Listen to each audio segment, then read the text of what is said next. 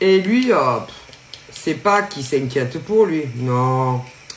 Il s'inquiète pas non plus pour toi. Il s'inquiète plus pour elle, en fait. Parce que lui, tu vois, il connaît ton tempérament. Ouais. Il sait que tu es quelqu'un de, de calme. Mais, attention, il te connaît bien, malgré tout. Et il sait que si jamais il te le dit, ah bah, tu vas te retourner contre elle. Ah bah si. Et elle, elle va passer un sale quart d'heure avec toi. Et que, à mon avis, euh, elle, si tu es sûr, sûr, sûr, euh, bon, vu qu'elle est majeure, euh, bon, mais à mon avis, si lui, admettons, et un jour tu reviendras là-dessus, hmm.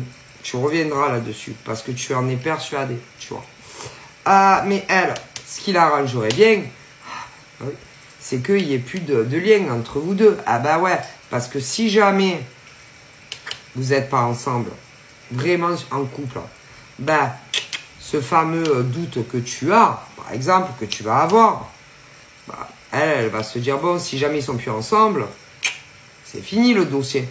Tu vois ce que je veux dire? Mais imagine que, parce que je t'ai expliqué, ok, que lui, il va recevoir une vente de l'autre, oui, qui est en couple, oui.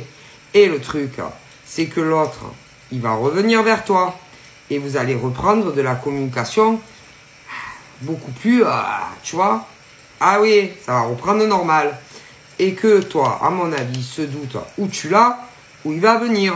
Et que, à mon avis, tu vas revenir sur ça. Oui, les raisons aussi, parce que je vais te dire, hein, si par exemple lui, il s'est éloigné de toi, à un moment donné ou à un autre, ah ben c'est sa faute à elle.